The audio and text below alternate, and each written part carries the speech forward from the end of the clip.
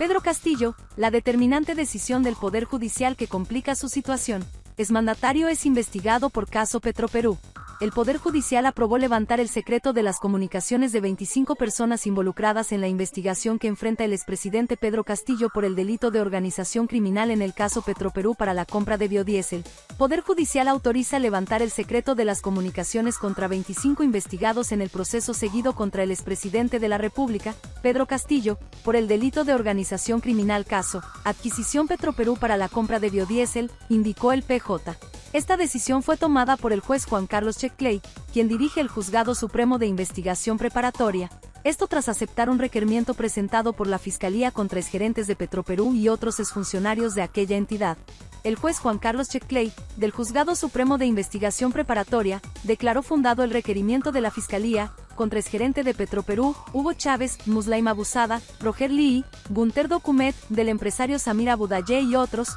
señaló. Esta medida del Poder Judicial permitirá que se extraigan y analicen todos los mensajes enviados por correo electrónico desde septiembre de 2021 hasta marzo de 2022. A Pedro Castillo se le acusa de ser el cabecilla de una organización criminal que habría cometido irregularidades en el proceso de contratación de la compañía Eaven Petroleum Mapper CCA para la venta de barriles de biodiesel B100 a Petroperú por 74 millones de dólares.